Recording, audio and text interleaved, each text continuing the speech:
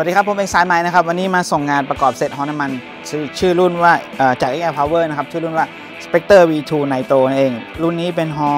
ออกใหม่ล่าสุดของ XL Power เป็นฮอน้ำมันไซส์ 700 นะครับ เครื่องที่ใช้นะครับตัวนี้นะครับ เลือกใช้เครื่อง YS96 ซึ่งเป็นเครื่องที่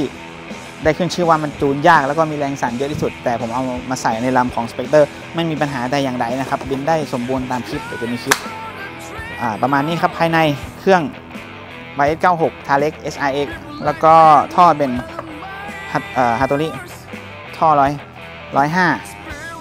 เซอร์โวที่ใช้เป็น X8 แล้วก็ไจโรเนี่ยผมใช้มาวางข้างหลัง ตรงนี้เพื่อลดแรงสั่นเทินของเครื่องยนต์ครับก็ประมาณนี้นะครับลำนี้เป็นลำที่ 2 ที่ส่งงานที่ทำคลิปส่งงานแต่ว่าประกอบไปหลายลำละเดี๋ยวไปดูอาการบินลำนี้จะค่อนข้างบินได้จัดเต็มหน่อยจากคลิปท้ายท้ายท้ายคลิปนี้เดี๋ยวไปดูอาการบินกันครับว่ามันจะคล่องแคล่วแล้วว่องไวแค่แค่ไหน ก็ฝากไปอีกหนึ่งค่ายกับ XL Power ฮอดีราคาอะไรถูกกับโอเคครับ